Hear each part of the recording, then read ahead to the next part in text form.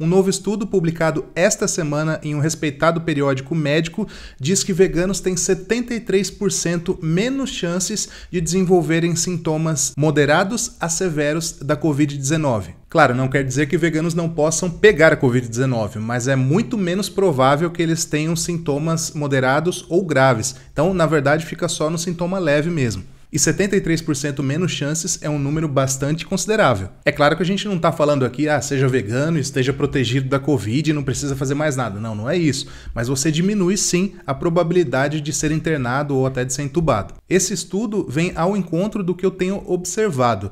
Eu vi alguns veganos pegando a Covid-19, mas não vi nenhum desenvolvendo sintomas severos ou mesmo morrendo da doença. É claro que pode ter acontecido, eu é que não soube, mas no geral o que a gente vê é que veganos pegam a Covid, mas não desenvolvem sintomas muito severos mesmo. Porém, é, é, preciso fazer um adendo aqui. O estudo não fala que basta você ser vegano e coma aí batata frita e refrigerante que tá tudo bem. Não é isso. São pessoas que têm uma alimentação vegana integral, né? Saudável. Então é muito diferente daquele vegano que só come sanduíche de lanchonete e bala e doce, tá? Vamos aos dados agora. O nome do periódico onde foi publicado esse estudo, o link tá aqui na descrição, caso você seja da área de saúde, queira dar uma olhada aí no estudo, é a revista BMJ Nutrition Prevention and Health, tá? Pega o link aí na descrição.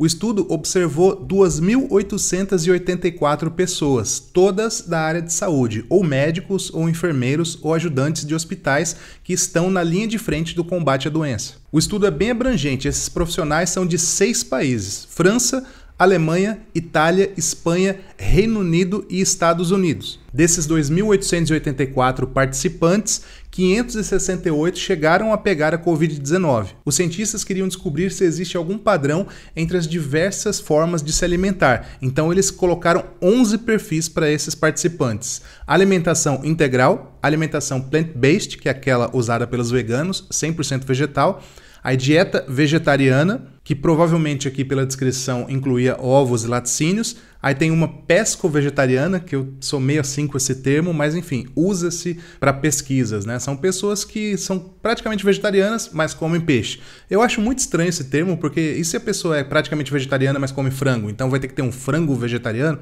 Enfim, mas eles usaram aqui nessa pesquisa dieta mediterrânea, cetogênica, paleolítica, low fat, que é baixa em gordura, low carb, que é baixa em carboidrato, e high protein, que é alta em proteína. E a alimentação que teve melhor resultado nesse estudo foi a plant-based mesmo, a 100% vegetal.